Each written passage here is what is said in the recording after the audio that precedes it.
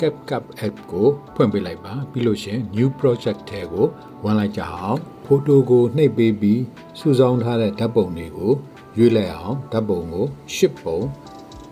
ရွေးပေးရမှာဖြစ်ပါတယ်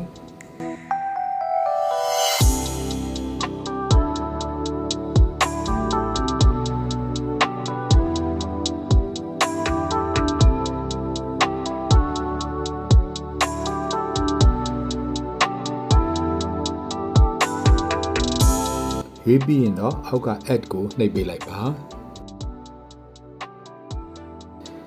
TikTok အတွက်အသုံးပြုမှာမို့ format ထဲကိုပထမဝင်မယ်ပြီးရင်ကိုအချိုး16ကို format ကိုရွေးရပါမယ်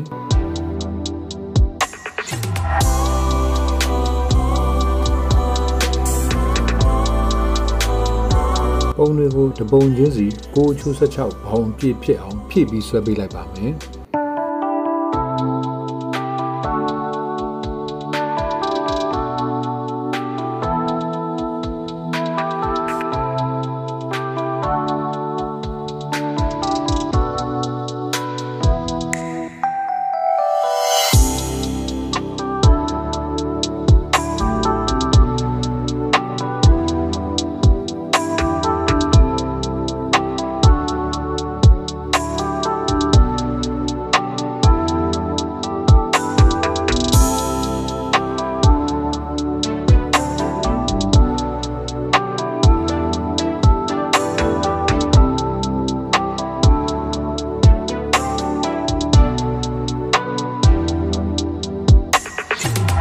ပုံတွေချက်ပြီးပြီဆိုရင်တော့ 3D trend မှာနာမည်ကြီးခဲ့တဲ့ music ကိုထည့်ပါမယ်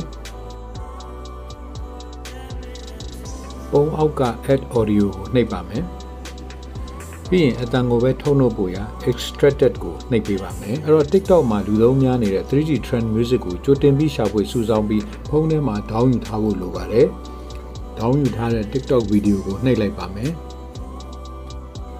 ပြီးရင်အောက်မှာပေါ်လာတဲ့ add ကိုထပ်ပြီးနှိပ်ဝင်လိုက်ပါဟုတ်ကဲ့ပါဒီမှာတချင်းတီးလုံးအတန်ပဲဖြတ်တော့ပြီးတော့ audio file နဲ့ရောက်ရှိလာပါပြီတချင်းစီးချက် beat ကအလှိုင်းအနှိမ့်မြင့်များတဲ့နေရာမှာထင်ရှားသိတာပါတယ်အဲ့တော့တချင်းဖွင့်ကြည့်မယ်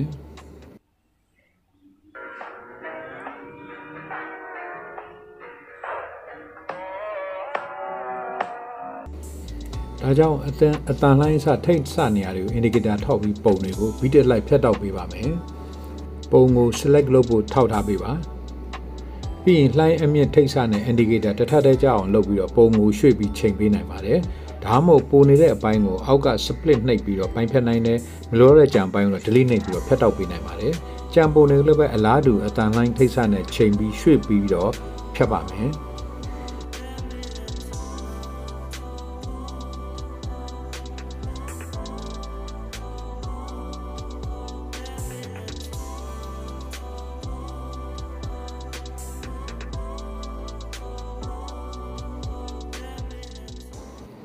အတန်လှမ်းရဲ့အနောက်ကပုံနေတဲ့အပိုင်းကိုထောက်မယ် split နဲ့ပိုင်းမယ် delete နဲ့ဖြတ်ပစ်ပါမယ်ရုပ်ပုံနောက်မှာရှိနေအကွက်ကိုလည်းပဲအလားတူဖြတ်လိုက်ပါမယ်အဖြစ်အတောက်ကိစ္စတွေပြီးပြီဆိုရင်တော့ပုံတစ်ကိုထောက်ပြီးတော့ animation ထည့်ပါမယ်အောက်က animation ကိုနှိပ်ပေးပါပြီးရင်တစ်ဖက်မှာပေါ်လာတဲ့ combo ကိုနှိပ်ပေးရပါမယ်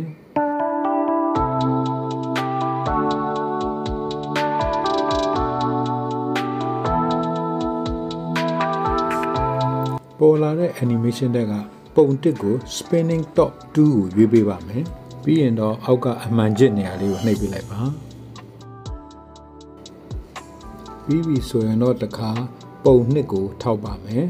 အဲ့တော့ထောက်ပြီးရင်အောက်က style တဲကိုဝင်ပါမယ်အဲ့တော့ပုံနှစ်3 4 5 6 9 10အတွက်ကိုတော့အောက်က style ကိုနှိပ်ပြီးဝင်မယ် style တဲက 3D zoom effect နှစ်မျိုးတည်းကတလှည့်စီကိုကျွန်တော်ထည့်ပြီးတော့သုံးပေးလိုက်ပါမယ် effect နဲ့ပုံပြင်တာကိုခဏတော့စောင့်ပေးရပါလိမ့်မယ်ပုံတွေကိုပြင်နေတော့ beat ဖြတ်တာတွေပြန်လွဲသွားတာကိုတွေ့ရပါလိမ့်မယ်အဲ့တော့အဲ့ဒါတွေကိုပြီးတော့မှပဲထပ်ပြီးချိန်ပါမယ်ယခုတော့ခဏထားလိုက်ကြအောင်ကြံပုံတွေကိုလည်းပဲတပုံချင်းစီ select လုပ်ပြီးတော့ 3D zoom effect ကိုထည့်သွားပေးလိုက်ပါ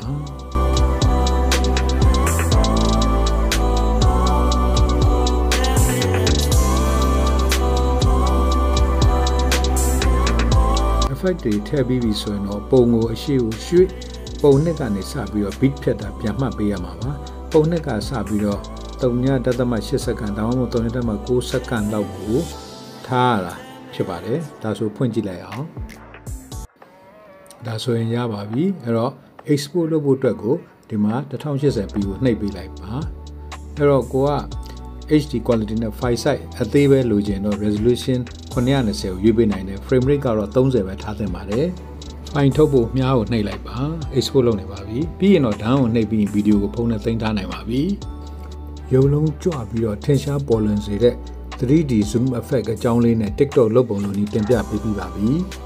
ဗီဒီယိုလေးကိုနှစ်သက်လိမ့်မယ်လို့မျှော်လင့်ပါတယ်နှစ်သက်ရင် like share comment လေးလုပ်ပြီးအားပေးခဲ့ကြပါဦး။ Kango knowledge sharing platform ကိုလည်းပဲ subscribe လုပ်ရတယ်မိတ်ဆွေများ subscribe လုပ်ပြီးအားပေးခဲ့ကြပါနောက်ထပ်လည်းဗီဒီယိုမှာထပ်မံဆုံစည်းကြပါစို့အားလုံးကိုကျေးဇူးတင်ပါတယ်။